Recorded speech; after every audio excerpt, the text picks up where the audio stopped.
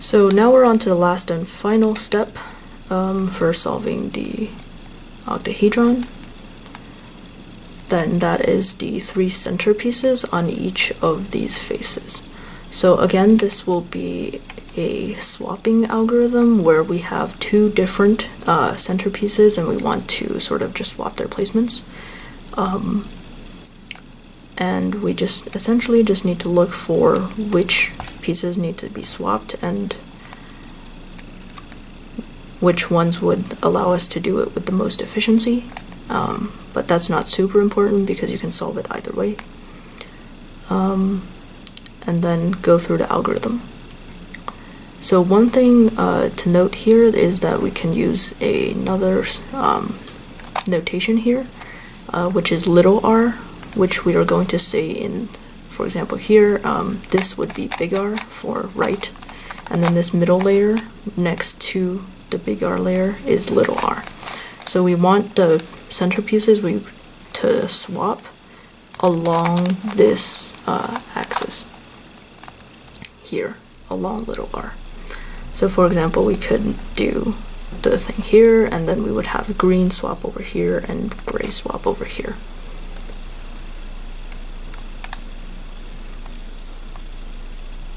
So we can look on adjacent faces and then see if there are good pieces to choose.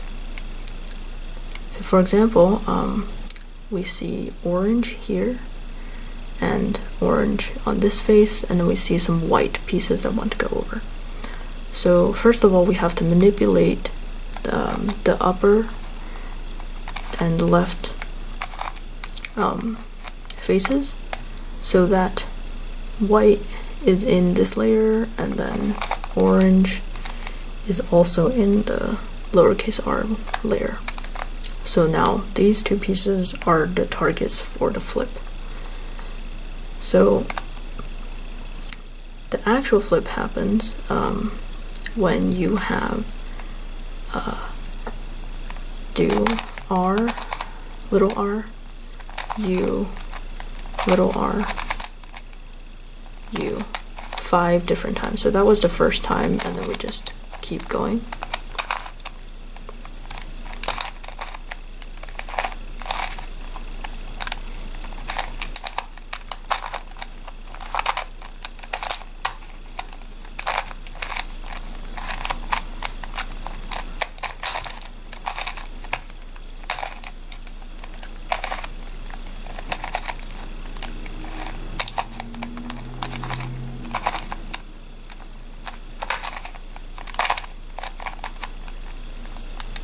Yep. And so now when, after you're done doing that five times, uh, you should be able to see that these edge pieces have successfully sw swapped places and also none of the other um, pieces have been messed up here on the corners and edges. So then you can turn um, this left face and upper face back to where they were originally before you set up the piece transfer. So that was the first pair and then now we can continue on with other pieces and it's all the exact same procedure. So white and gray over here would be a good match here. So little r, u, little r prime, u prime.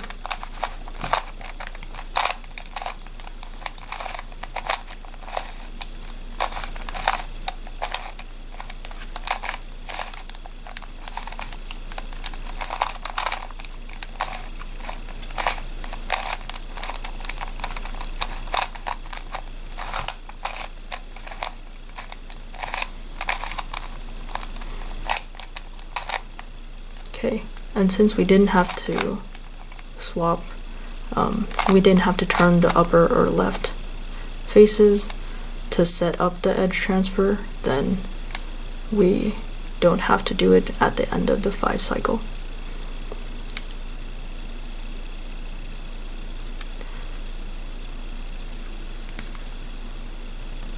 So there's a yellow here and a red here, we can do that.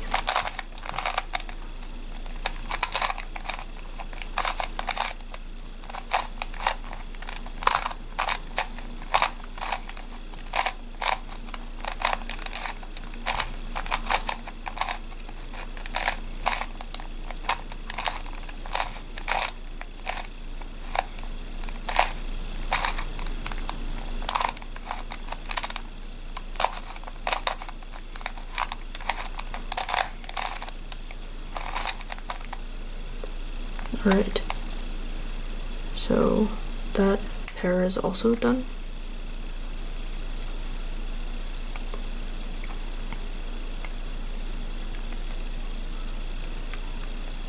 do a purple and blue.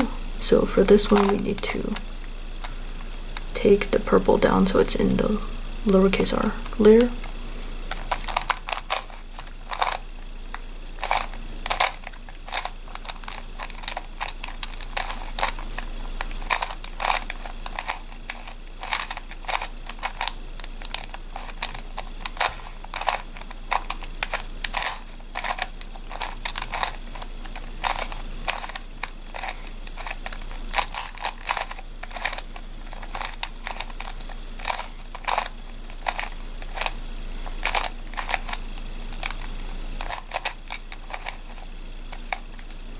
And then we twist this layer back when we're done.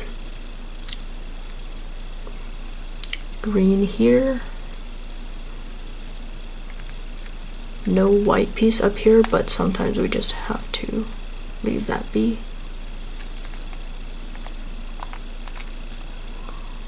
Alright, green and gray transfer right here is available.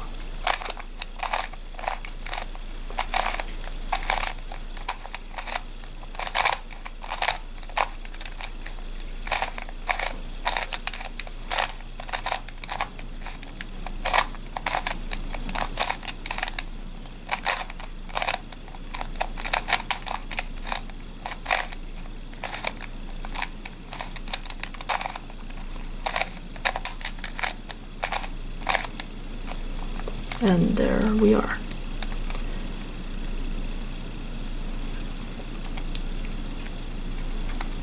So purple here, and then there's no yellow up here, but that's fine.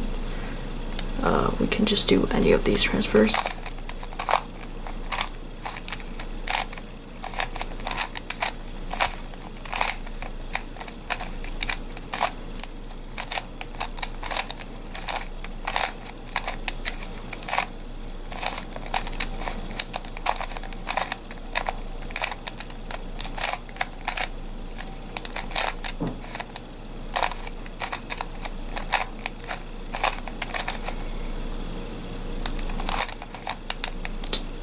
And there we are. Another purple transfer here. And then we would be done with this face.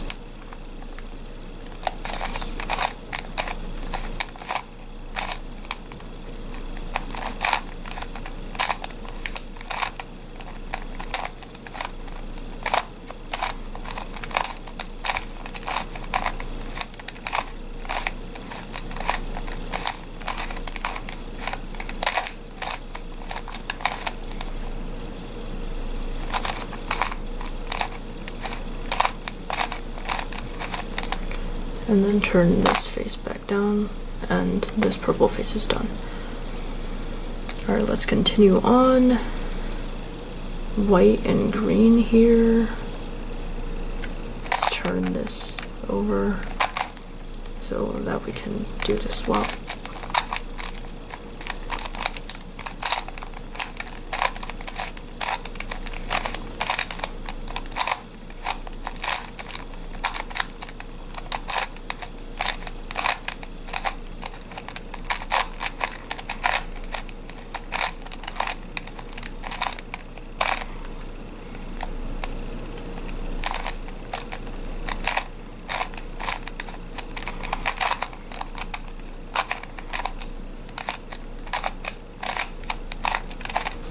Alright, and then turn this face back.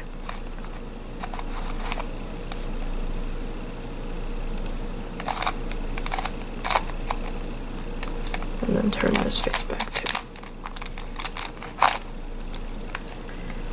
Okay.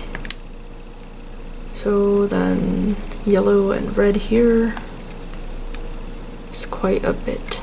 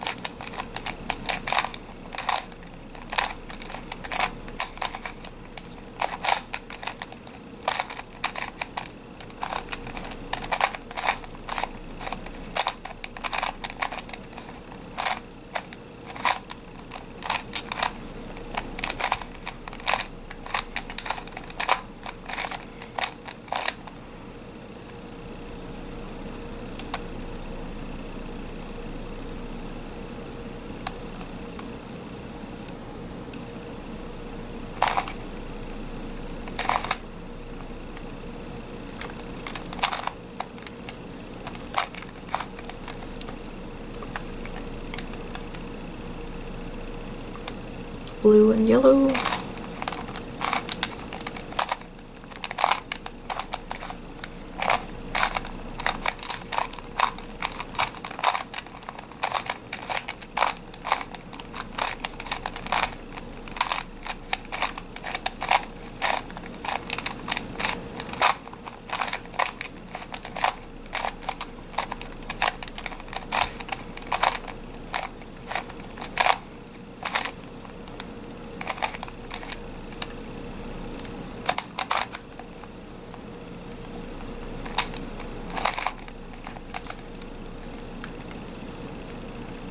Alright, and then final two swaps here, and then we're done.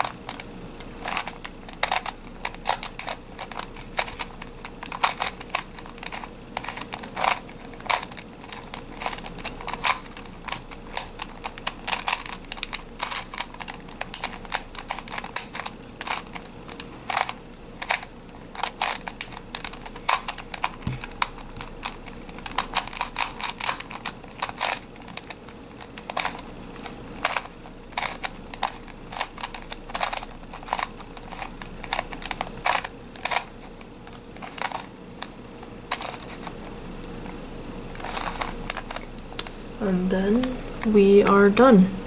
So that is essentially the basic steps to how to solve a face-turning octahedron and I hope we learned something cool today. Yeah, thanks for watching.